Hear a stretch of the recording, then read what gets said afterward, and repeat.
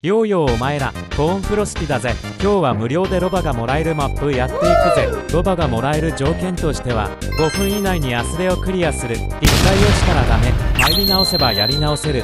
ショートカットもダメらしいぜ。注意点マップに入った瞬間チャレンジスタートになること。噂ではよう300もらえたやつとかいるらしいぜ。1000以上のやつもいたぜ。ちなみにロバはクリアして1週間後にもらえるらしいから1週間後この動画のコメントと新しい動画で結果出すわ。今からアスレ攻略するからよく見とけよごらここは滑り台が終わる直前でジャンプすると少し飛んで加速だぜここは歩いて進んでも落ちない。ここはしっかりジャンプしろよ。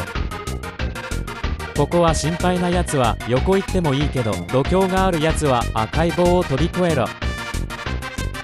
ほら。現時点で1分経ったぜ。ここよく見とけよ。さあここからは暗記だ。左端。右端。左から2番目。暗記は終わりだ。ここからも難問。ちゃんと見とけ。わかったか？ここは得意苦手分かれるから気をつけろよ。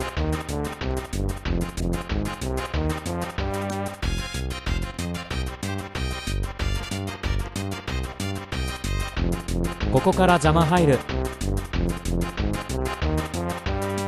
ギリセーフ。ここは床消えるから気をつけろよ。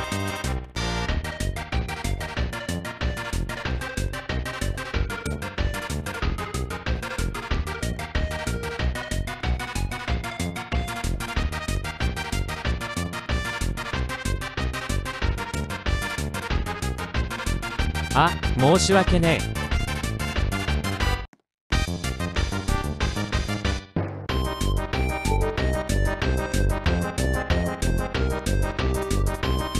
はいここはあなたたちのテクニック次第。今んとこ2分20秒しか経ってないから慎重に行っても OK だぜ。これが終わったらゴールだ。滑り台を降りてフィニッシュ。結果が楽しみだな。参考になったら嬉しいぜ。